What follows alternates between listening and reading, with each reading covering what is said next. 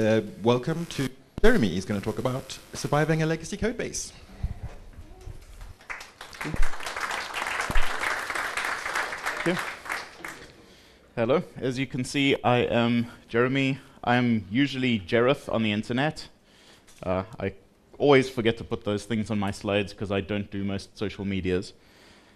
But if you search for the name of any of my talks, you'll generally find the GitHub repo for them, and then you can find me if you so desire. Legacy code bases. How many people here have not had the lovely experience of dealing with a legacy code base? Enjoy it. One day you will not be one of those people anymore. So before we can start talking about legacy code, we need to know what it actually is. And apparently it's running my remote control thing. so when I was looking in Wikipedia for some definitions, I found the what Wikipedia claims is the original definition, the very first one, code for an obsolete computer. I have a program written for a PDP-6. I have replaced it with a VAX. Now I need to write all my software again from scratch because the computer is different. Most of us don't deal with that kind of legacy code, thank goodness. The current definition that I see most often, and th the one that I usually get if I ask someone what legacy code is, is code that is inherited from someone else. This, while it's usually a fairly accurate definition, it has a bunch of problems. Firstly, on one occasion, a very memorable occasion, I inherited some code that was not legacy code. On far more occasions, I found myself writing exciting new legacy code that was legacy even before it left my fingers. so it, it's not a very good definition. The visceral definition that accurately describes my state of mind when faced with legacy code, and this is the one I used for a long time, is code that I'm afraid to modify. Because it is fragile, and merely by opening one of the files in your editor, you can cause production to break and be down for a week.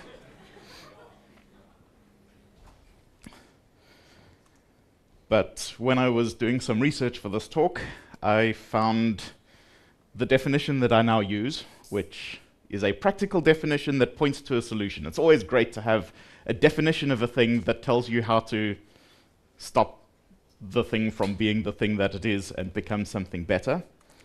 And that is code without tests. Uh, the guy who came up with that definition is Michael Feathers, who wrote a fantastic book which you should all read, and I'll tell you more about that at the end.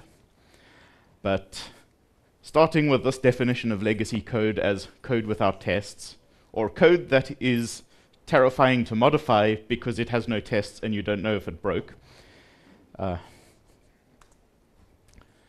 the first step in getting your legacy code under control is to get it tested. So write some tests. Yay, let's go home, we're all done. Unfortunately, it's not that easy.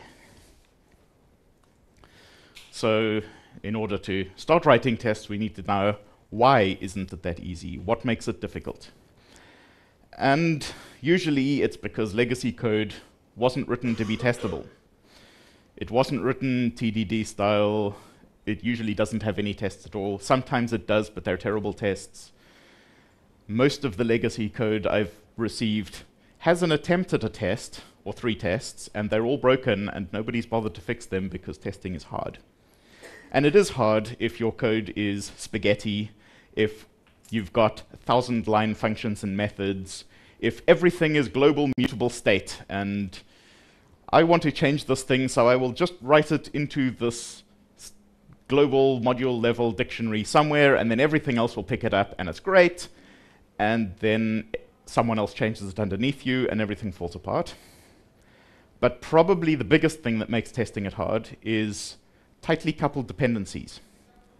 I have a piece of code that I want to make a change to, but my function starts by creating a database connection, connecting to the database, fetching some information, making an API call to some remote system, getting a response from that, making another database connection to a different database and writing the response there. To test this, I need two databases and a third-party web service on the far side of the internet. Great, I will set all those things up in my test and phone the telco that I'm talking to to please make sure that any messages I send during this test run don't actually go to people's phones in Nigeria and cost me money. Uh, but hard to automate that. Legacy code gets worse over time because it's hard to test and changing it is scary. It doesn't get refactored. Refactored. Um, the code stays bad. Things get hacked in because it's scary to change. So instead of refactoring this thing and breaking this piece apart from that piece so I can put my new code in between, you just very carefully add three lines to the middle of this gigantic method, which will hopefully do what you want, and you test it a couple of times, and you send it over to QA and hope that nothing breaks. And sometimes you get lucky. But all is not lost. We don't have to give up. We don't have to throw it all away and rewrite everything from scratch and go out of business because we're rewriting it from scratch. We can make legacy code testable if we do it very carefully with limited controlled changes to the untested code so that we can write tests for the, the code and add new code that is tested.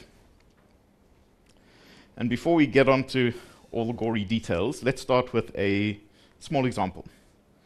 So I have a celery task that I want to modify. This is, um, it is actually real code. I have that star star others uh, parameter there is just so that I could fit it easily on the slide because there are like 20 parameters to this celery task. Um, but this is actually real code, legacy code that I had to modify and um, make testable. So I have a celery task that creates a virtual machine. I, want to, I wanted to do something different. But the very first thing it does is create a remote Xen server API session to talk to a VM management system on some metal in a data center that runs my production virtual machines. So how do I test this? I don't want to modify my production virtual machines while I'm running my tests. So I break up the function. I have, I take basically everything that is not the call to get session, put it in a new function, which takes the session object as a parameter, and then I call the new function from the old function. I build a test double for the session object so that I don't have to talk to a real Xen server API. You may notice that while that is a fairly simple step, it is not a trivial one. And then I write some tests. So, things to note about this process.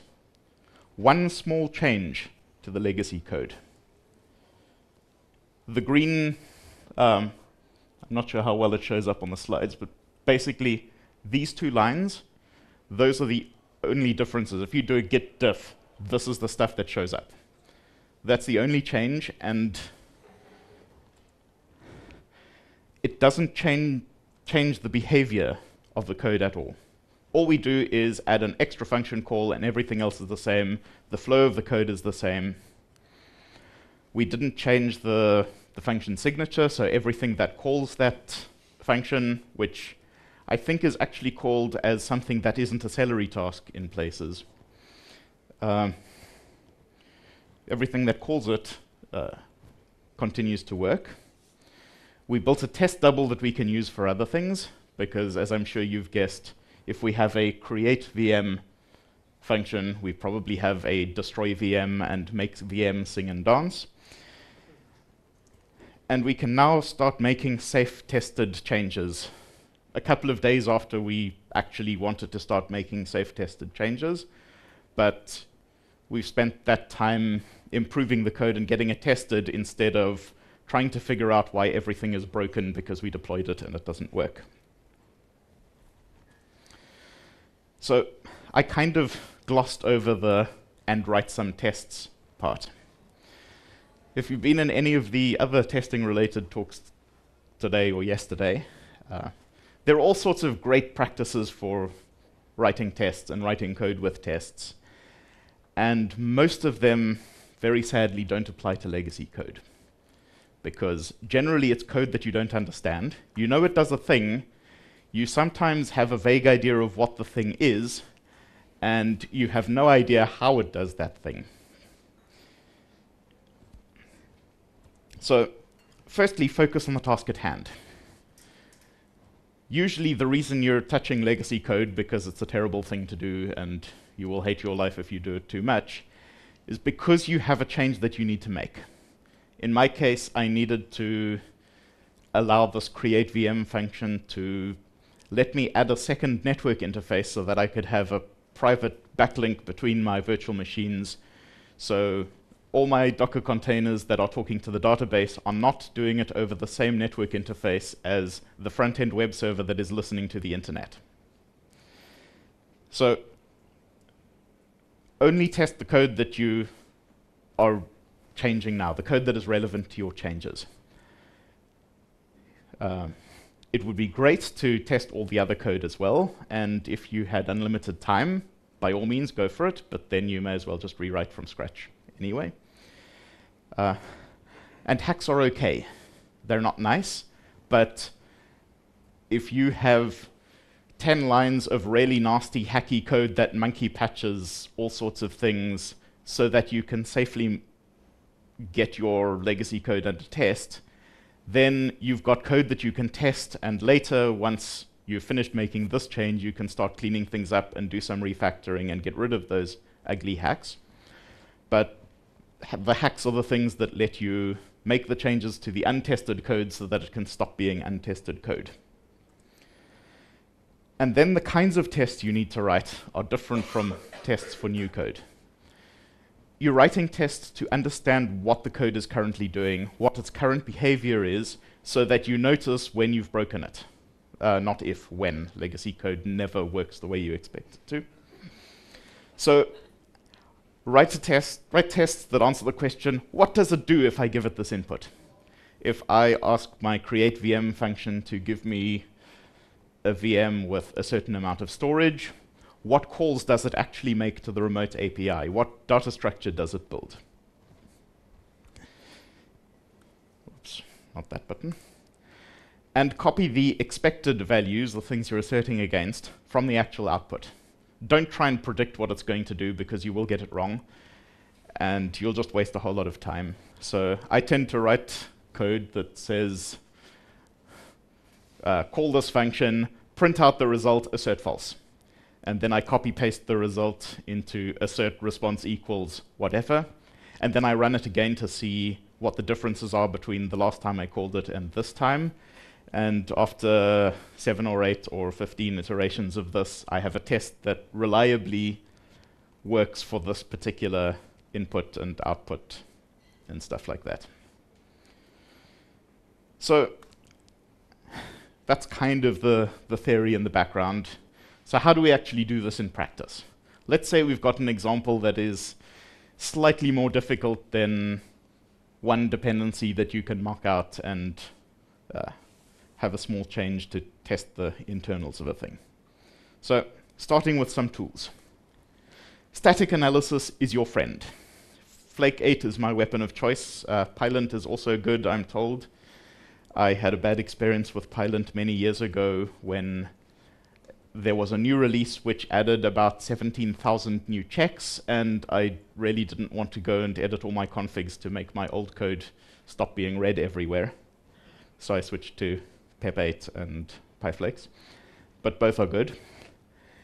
When you're using these tools, turn off all the warnings that you don't care about. It doesn't matter for the purposes of did I break this code whether you have lines that are longer than 80 characters or 800 characters.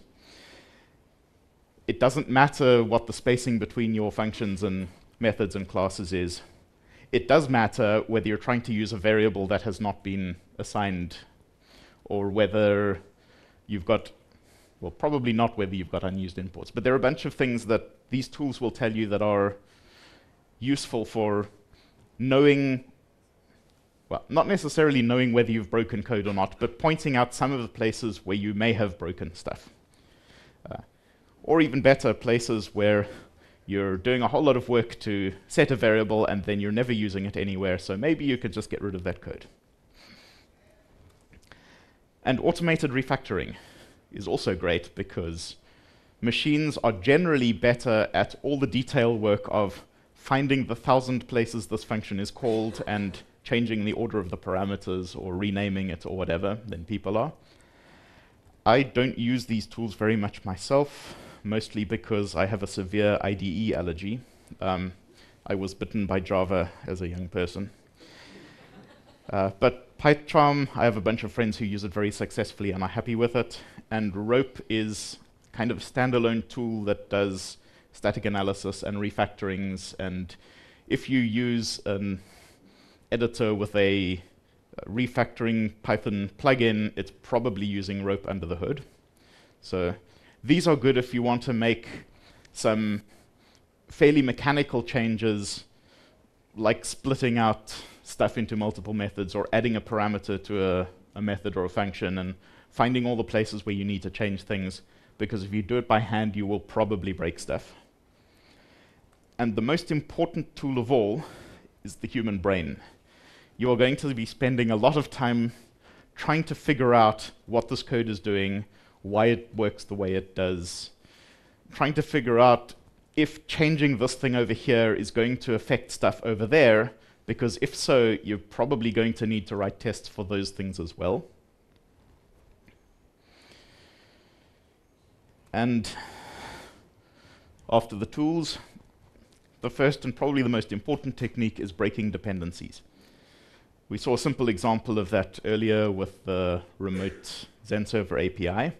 Uh, we can't test a thing that calls out to a XenServer API, so we want to have a way to test it that doesn't do that. So test doubles are your friend. Don't call a database, call a thing that pretends to be a database.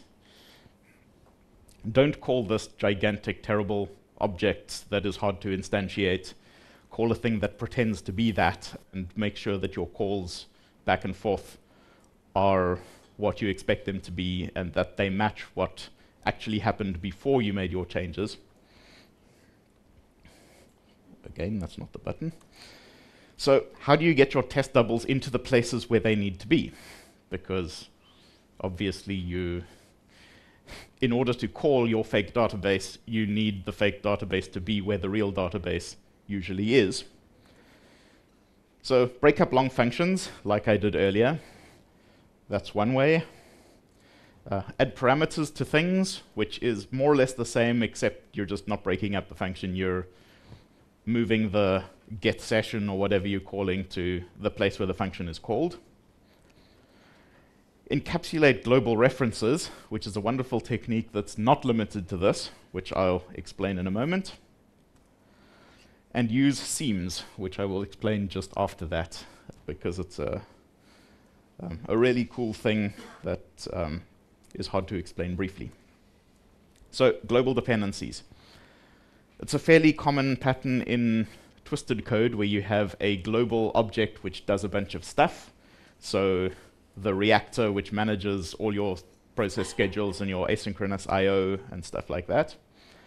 So instead of using the reactor directly, which a lot of code would do, uh, at the top line here you assign your global reactor to a class level attribute and then in your method where you call it, you call self.clock.whatever instead of reactor.whatever. And then in your test, you just set transport.clock equals your fake object. In this case, um, it's a fake object provided by Twisted that pretends to be time passing and you can schedule stuff in the future, and then you can tell it 15 minutes has passed, run all the things that should have run in the past 15 minutes, and you can test time based things without having to wait for the time to pass, which is really useful when your time based things are wait five minutes so that we can pretend to be unthrottled and then see if all the code that runs five minutes later actually ran. Usually it doesn't, and then you have to debug it. so, seams, as promised. A seam is a place where you can alter behavior in your program without editing in that place. Again, Michael Feathers, his book is wonderful, you should read it.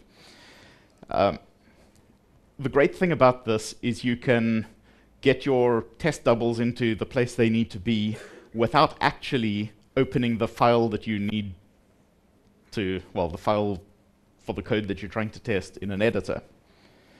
Um, there are a whole lot of different kinds of seams, which Michael goes into in his book, but the ones that are relevant to Python are things like module imports, because you can import a different module instead, or you can tell Python that no, this module is actually something else.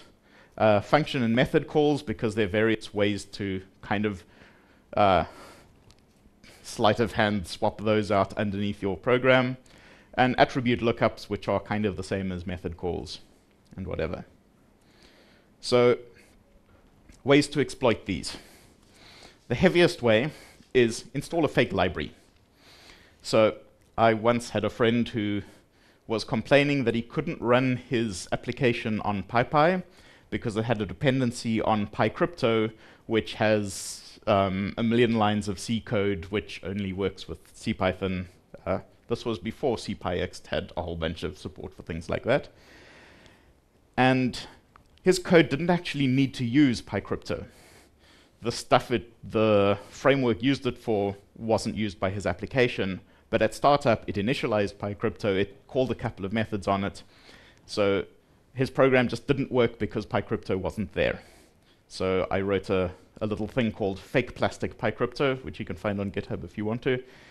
And all that does is pretends to be enough of PyCrypto. It says, yes, I'm PyCrypto, initialize me, great, return happy, call this method, okay, I will do whatever you say, and throw the result away.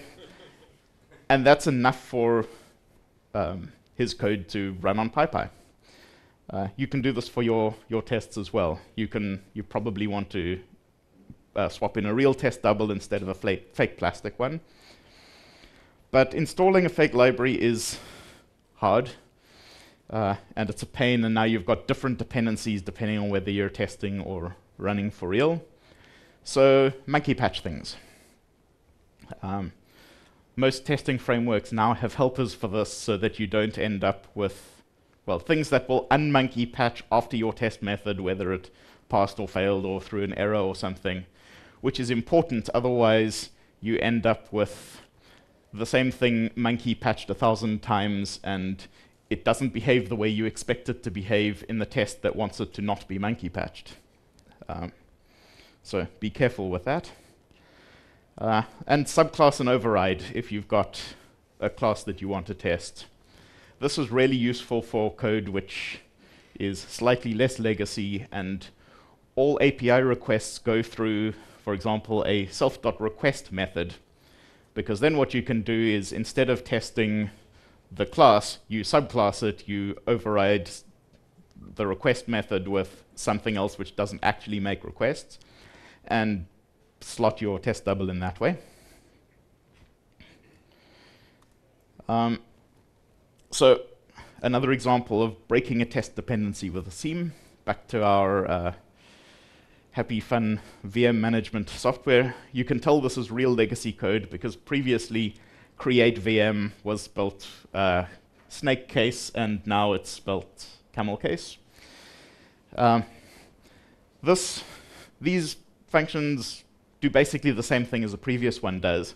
But if you look carefully, you will see that update server calls update VM asynchronously through Celery, and then update VM makes its own session object. So if you want to test that update server calls update VM the way it should, which you want to do if you need to make changes to these things. For example, to make sure that you're not trying to update unresponsive servers or unresponsive VMs, which then take several minutes to not respond, and then you build up um, three and a half million, I think was the biggest we saw, uh, tasks waiting in your queue, full of Django model objects, which then get rewritten back to the database and overwrite the changes you made manually in the hours between that task being fired and that task running. Legacy code. So you could possibly extract get session before, but that requires a lot of change. You need to somehow find a way to get a session into a Celery task that's called asynchronously from somewhere else. Uh, so instead, you write a test that monkey patches it. Uh, in this case, I'm using PyTest's monkey patch fixture. Uh, most of the other testing frameworks I've used have something very similar. Uh, and all our test does is get the, the tasks module, um, replace the get session function in it with the one that uh, returns our test double, and then the rest of the test is written as if um, we were actually talking to a real Xen server, except through our double or whatever. So it's ugly, it's monkey patching, uh, it's easy to screw that up. A word of warning about pretty much all of these things where you're swapping in test doubles underneath something else.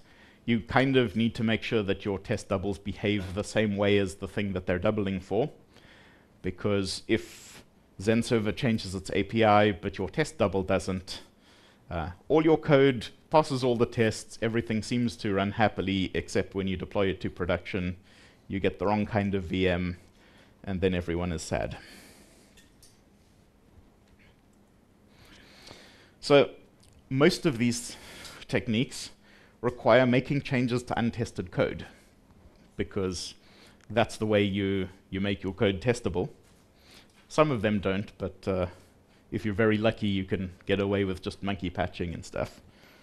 But for the most part, you can't. So the way to do that safely, ish, is to separate your new code from your old code. So all the new code you write, that's new code. You can write it TDD. You can write your tests first. You can make sure that the code is tested, that it works the, the way you expect it to, that you will notice when there are regressions, all of those good things and then you kind of slot that into the old code where necessary. And you're making a small change. Okay, I should have pushed that button first. So new code can be tested in isolation. It is testable because it's new code that you're writing with tests. And the changes to the old code are very restricted. You're only making the minimum change required to call your new code from the old code or whatever. Um, you're not completely rewriting a function or something. The disadvantages is that now your spaghetti is spaghetti with meatballs because you've got all this legacy code spaghetti code paths and flow over here, and then this code over here, instead of just going rambling through this code, it now jumps to your shiny new place where you've got um, some ravioli or meatballs or something nice and encapsulated and well tested, and then it goes back out to your terrible legacy code. But more importantly, your old code doesn't improve. In fact, it gets worse because now you've got your spaghetti with meatballs, you've got more complicated code flows, you've got this stuff that logically belongs with this code over here, but actually it's over there so that we can test it. So do this carefully and clean it up later. Because generally, if you're making changes to legacy code, that's not the only change you're going to make to the legacy code. I needed to add a uh, second network interface to my VM. Now I need support for adding extra disks so that our databases can have SSDs on them. Uh, I haven't made that change yet, but it'll be much easier than the previous change because now I have code that is at least partially tested, and I can start cleaning up some of the, the hacks and do a little bit of refactoring with a certain amount of confidence that if I break things too badly, I will probably notice before it gets pushed to production. So, we're programmers, we like algorithms. The legacy code algorithm. Step one, identify the code that needs to change.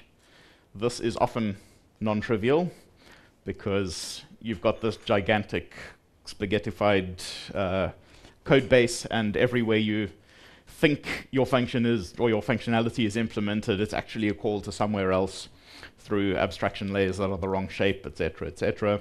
But eventually you find the place that you you need to change to uh, add your feature or fix your bug. Step two, break the dependencies so that you can write tests for this code so that you're not calling out to remote third-party services in your tests. Step three, actually write the tests. Uh, and then the last two, make the changes you want to make all the way down at the bottom of the algorithm. And then step five is, I don't want to say optional because it shouldn't really be optional, but sometimes it's not possible. So if you can, refactor it so that your legacy code becomes less legacy and more real code that you can actually work with and improve. And read this book. It is a fantastic book. I really wish I had read it several years ago when I first started working with legacy code. Um, unfortunately, I didn't, so I had to learn all of these lessons the hard way. Um, this book goes into a whole lot of detail that I haven't had time for in a 45 minute conference talk slot with some questions at the end. Um, it's not Python specific. In fact, I don't think it even mentions Python at all, except maybe once in passing. A lot of the examples are in Java or C++.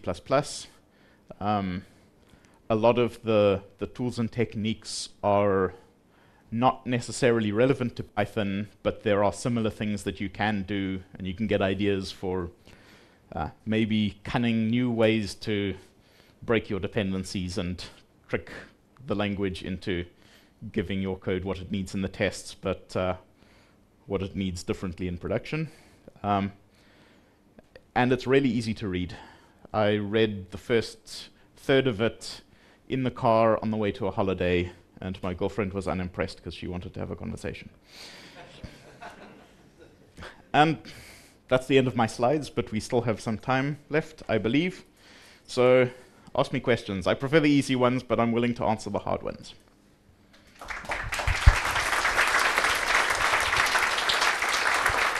Thank you, Jeremy. Okay, questions. Pi.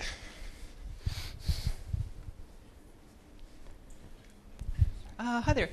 Um, can you talk about using tools like um, Hypothesis and MyPy to like check and explore legacy code? I did a talk two years ago about Hypothesis, and I actually haven't written enough new Python code uh, to have been able to use it much, so I've forgotten most of the details. But it's a fantastic tool. It's generally less useful for legacy code because you know that your legacy code is terrible and it's going to break it break if you give it unexpected input. So hypothesis will just tell you stuff that you already know. Um, it's a great tool for, I mean, it might be a good way to figure out where the edges of acceptable input to your code are. Um, it's worthwhile. Look at using it, but um, it's not one of the standard tools I use for this. And also MyPy, it's one of those things that works better for new code than for existing old code that doesn't conform to any standards and you have no idea what it's going to do with its, its variables. So those are things to usually that you use towards the end of the process once your legacy code has been at least partially de-legacified and you can start doing proper testing and things like that. Do we have more questions?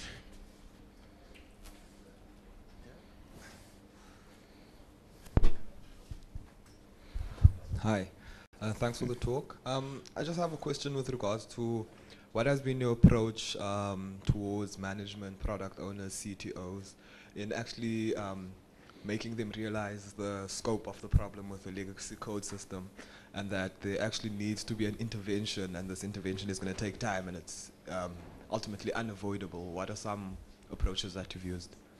So if telling them exactly what you've just said now doesn't work, then I say, okay, I will make the, the fast, um, quick, hacky change, and I am not available after hours, and I will be turning my phone off for the weekend. um, so please make sure that someone checks that I haven't broken everything. Uh, and about three quarters of the time, I break everything because it's legacy code. And then they come and they tell me that it's broken. And I say, okay, do you want me to do it properly or do you want me to try and make it not broken again the way I just did? And we can repeat this for the next three weeks or we can do it properly in two weeks. Uh, it, it's the standard thing of how do you get management to care about code quality? Well, if management doesn't care about code quality, they don't care about happy customers. Um, do we have uh, more questions? Going once? Jeremy, thank you very, very much. Thanks.